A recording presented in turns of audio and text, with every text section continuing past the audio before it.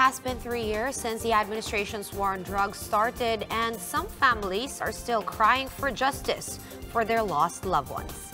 Their stories are now featured in a photo exhibit in Cubao titled Tatlong Taong Walang Dios. Greg Gregorio has more.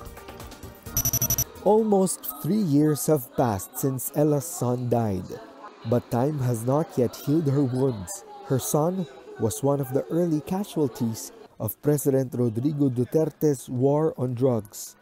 And after all this time, she still believes that her son was innocent.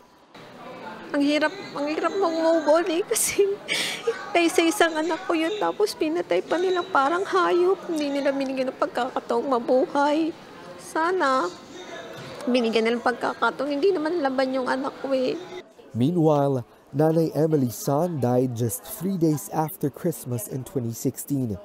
She says what breaks her heart the most is not actually the death of her son, but the fact that victims like him are mere numbers, collateral damage in the government's bloody quest against drugs. Tapos yung kung sinasabi po nila na police operation po yung nangyari, bakit po ganun kailangan po nilang patayin yung mga nandun sa loob ng bahay? Nagkakasayaan lang po yung anak ko kasama yung mga kaibigan niya. Bigla na lang po silang pinagbabaril ng mga pulis. A photo of Nanay Emily's son is now a part of this memorial wall for victims of extrajudicial killings.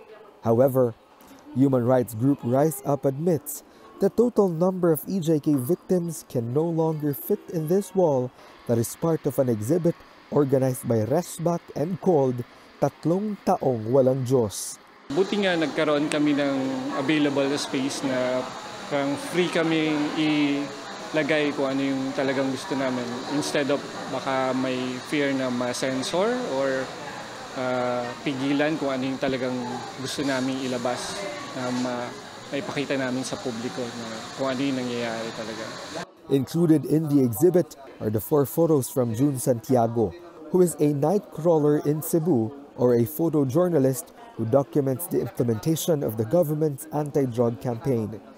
This is a story of the families, story of the victims.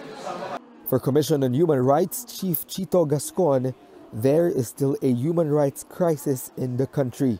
So he believes that through an exhibit like this, the public will be aware of the effects of the war on drugs. Sa likod ng mga statistiko ay may mga tao na may mga pamilya at uh, may mga buhay na nakitil. So magandang pagkakataon para makita yung human face ng aspetong ito. The exhibit is open until October 30, Tuesdays to Sundays from 11 a.m. to 8 p.m. at Stall 9 in Cubao Expo. For News 5, Greg Gregorio, we are One News.